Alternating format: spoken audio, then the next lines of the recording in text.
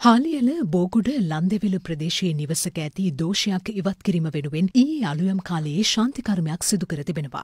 මෙම ශාන්තිකර්මය සිදුකර ඇත්තේ මැදිරිකිරිය ප්‍රදේශයේ පදිංචි යකැදුරකු විසින්. ශාන්තිකර්මය සිදුකරන අතරතුර එම නිවසේ පිරිමි පුද්ගලයන් හට අවට හන්දිවල රැඳී සිටින ලෙස යකැදුරා විසින් දන්වා තිබෙනවා.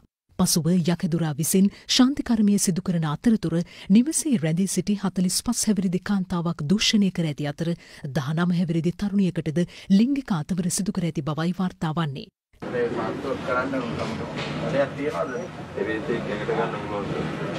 එරේතේ කැඟට අරන් තමයි කරන්නේ. එරේතේ ඇඟට ආපුවම තමයි කියන්නේ මම දන්නේ මොනවා මේවා. ගෙදර ඉන්න පිරිමි කට්ටිය කොහෙටද යන්නේ? පිළිමි කට්ටිය එක්කෙනෙක් ඉන්නේ අනික් කට්ටිය තුම්මන් හන්දිය වලටයි මහඩොන්ටයි යන්නේ තටු වර්ග. ඒ ඇයි එහෙම යව්වේ? යවන්න ඕන ඒකින්ද යව්වේ තටු වර්ග කියලා. එක පිරිමි කෙනෙක් විතරම කරගෙන. ඒක පිරිමියා ගෑනු හත් දෙනෙකුට කියලා.